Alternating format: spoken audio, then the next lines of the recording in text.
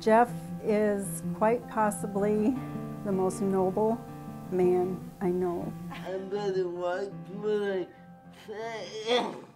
Jeff has taught me to focus on what matters most in life. He's happy doing what he is doing, Yes. and I think that that makes us happy too. When I first came to the village, I knew that sometime I was going to uh, fall in love, and I sure did.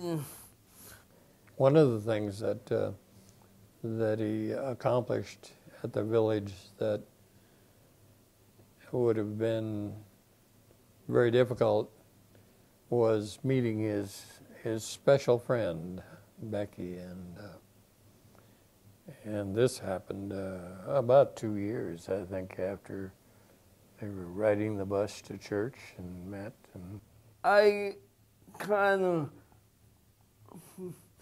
fell head over heels. They have been, I think, it's about 25 years now. They've been, been, a uh, couple for Rebecca is um, kind of um, cute and a little bit um, feisty, but I kind of like that um feistiness in her because in earlier years I was a little feisty myself. Jeff and Becky wanted to go on vacation in Minnesota. And so they needed a male staff and a female staff to go with them. And I was asked to be the male staff with Jeff. And we went, we stayed in a motel, we went to the big malls, we went to Chanhassen Dinner Theater, went out to eat. And in retrospect, that may be the only vacation that Jeff and Becky ever really are able to experience together. And something that a lot of us take for granted. Just to be able to go and stay in a motel and have a vacation. And this was just such a special, beautiful um, experience for them that I'm glad I was a part of and they were able to have.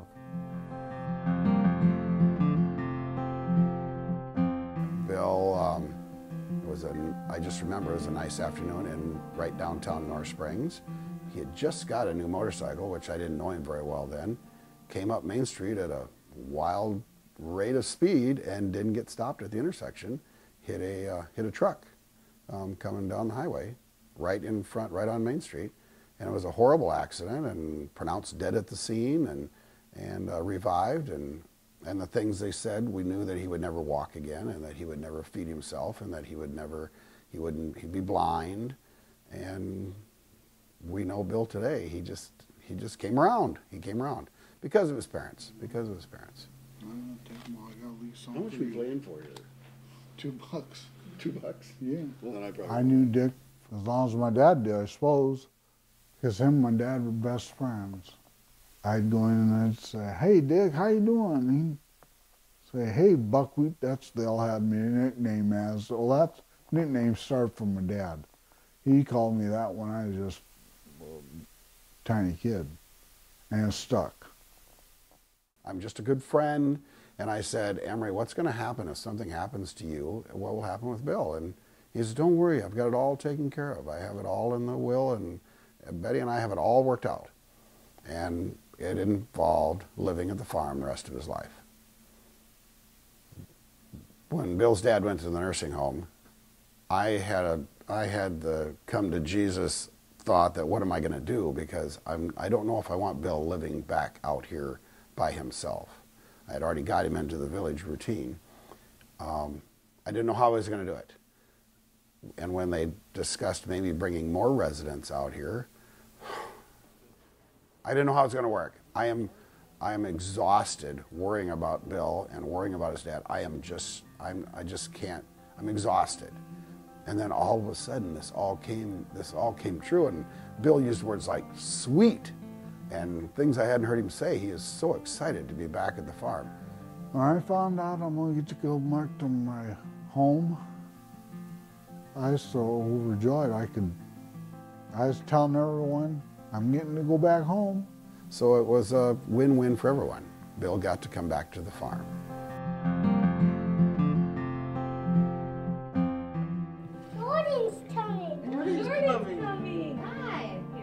That first initial diagnosis when we were in Rochester, I cried the whole way home. I did too. The whole way home, I didn't even know what to do, what, where to turn. It was a horrible feeling.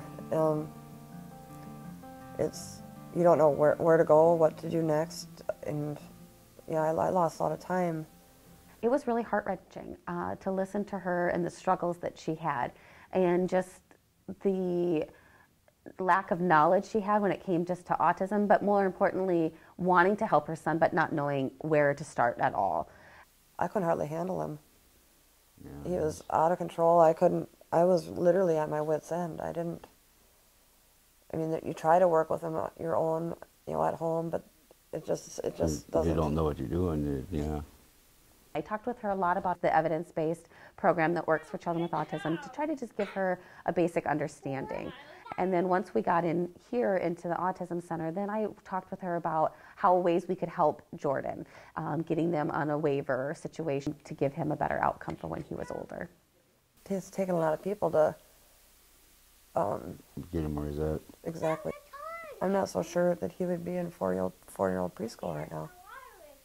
To be honest. not. Yeah, might not. You know, when I first met Stephanie too, she was, you know, very tired, very weary, very lost, um, isolated, not knowing where to go. And I look at her now and she's bright and she's smiling and she has hope in it. You can see the hope in her eyes. She knows that the diagnosis is still hard, but there is hope.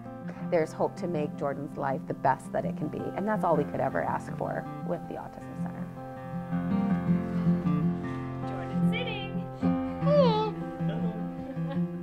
I, I didn't realize how many people needed these services and the relationships that the village provides.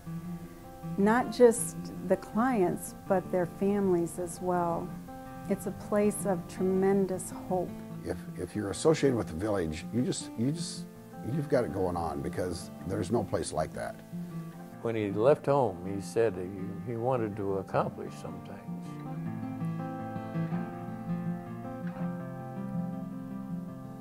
done that.